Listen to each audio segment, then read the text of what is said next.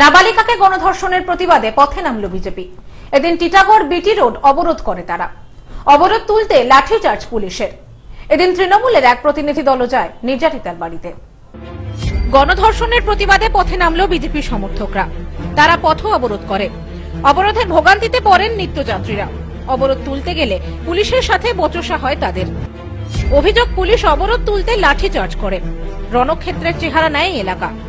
শুক্রবার ঘটনাটি ঘটেছে টিটাগড় থানার সামনে বিটি রোডে জানা গেছে দুদিন আগে টিটাগড় পুরসভার পাঁচ নম্বর ওয়ার্ডের কয়লা ডিপো এলাকার বাসিন্দা এক নাবালিকাকে বাড়ি থেকে তুলে নিয়ে গিয়ে গণধর্ষণ করে বলে দুষ্কৃতীদের বিরুদ্ধে অভিযোগ এই ঘটনায় এলাকায় ব্যাপক চাঞ্চল্য সৃষ্টি হয় फिर देखा कि कोई नेता लोग अंदर में गए हैं ये दरवाजा खिड़की बंद करके उन लोगों को साथ में लेकर बैठे हुए हैं तो कितना सारा टाइम उधर बैठे हैं हम लोगों को पता नहीं अंदर से कहीं साइड से निकल गए तो फिर ये जो पुलिस का कार है उसी कार से उन लोगों को पास कर दिया तो पहले हो गया था कंप्लेन पता नहीं क्या क्या हुआ तो लेकिन मैंने ये मेजो बाबू के साथ उनके साथ तरुण देवनाथ उनके पास उधर बैठी हुई थी तब और বাইরে চলে গেছে 164 हुआ ये सिर्फ हाँ यही सुना है लेकिन और ज्यादा कुछ नहीं बोलने के लिए बोले कि हम लोगों के पास कोई प्रोटोकॉल नहीं है आप लोगों को कुछ बोलने के लिए চার দুষ্কৃতীদের নামে থানায় অভিযোগ দায়ের হয় শুক্রবার সকালে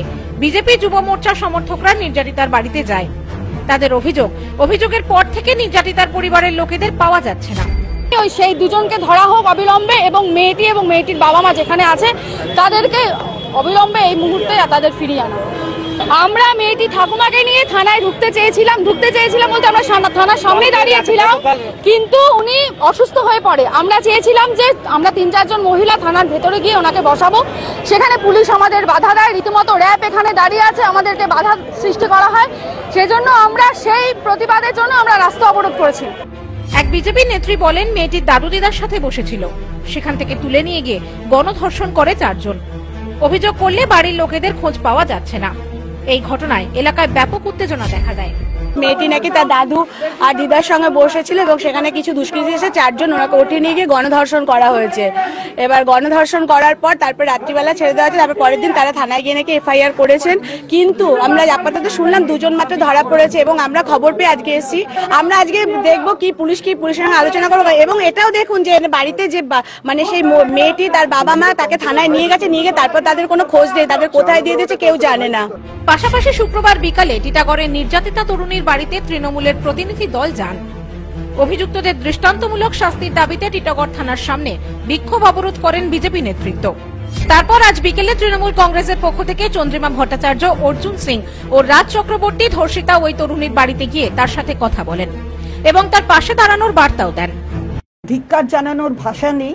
আমি মা হিসাবে লজ্জিত যে আমাদের সন্তানদের এরকম ভাবে নির্যাতিতা কেউ কেউ করছে এবং যারা করছে তারা সমাজে থাকার উপযুক্ত নয়।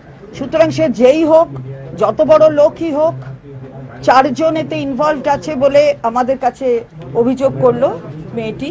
তো আমরা চারজনের তিনজন ইতিমধ্যেই ধরা পড়েছে আর একজনও আমরা নিশ্চিতভাবে আশা রাখছি পুলিশের সক্রিয়তায় সেও ধরা পড়বে।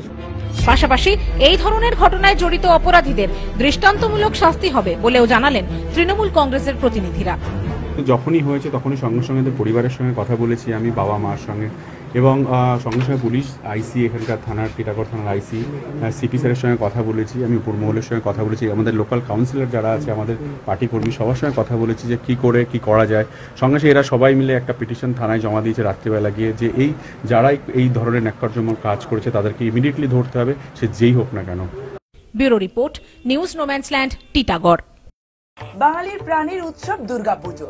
নতুন নতুন কালেকশন নিয়ে আদি মোহিনী মোহন কাঞ্জিলাল, এবার তোমার শহর বনগা, শিমুলতলার মোড় যশোর রোড।